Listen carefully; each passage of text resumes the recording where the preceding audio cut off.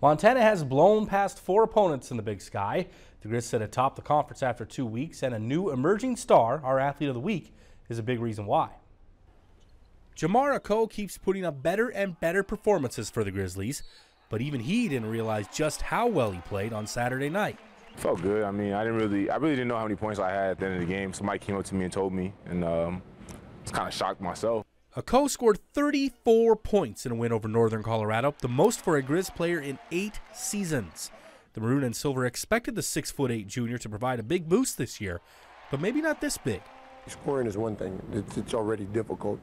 Um, but to play 33 minutes, I'm impressed with his ability to go out and defend the way we're doing and, and then still sustain a high field goal percentage. And he got off to a slow start, and so I didn't expect it even in the beginning, but now that everything's clicking and once we get in there, it's almost an automatic bucket. If a team doesn't, you know, go double team them, then I don't really know what they're doing. So I think it's just going to help open up shots for us. Akoh has averaged 23 points and 8 rebounds over the first four conference games, by far the best stretch of his college career. As a sophomore at Cal State Fullerton, the California native only put up 6 points and 6 rebounds a night, and he felt he needed a change. After doing his research, he found a program that often competes for championships that needed some interior help in Missoula. I think I'm more aggressive than I was my sophomore year. And I think I'm in a system that allows me to kind of be dominant and, you know, demand the ball and make plays. Akoh often impressed in practice last season when he had to sit out because of transfer rules. The Grizz didn't ask him to become a star. They already had Ahmaad Rorie and Michael Oguine in an experienced backcourt.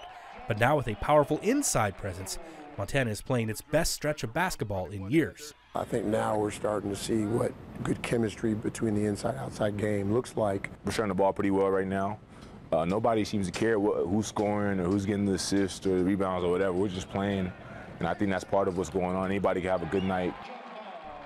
Akoh and the Grizzlies try to keep it rolling on the road this week. They'll take on Sacramento State Thursday night and Portland State Saturday afternoon.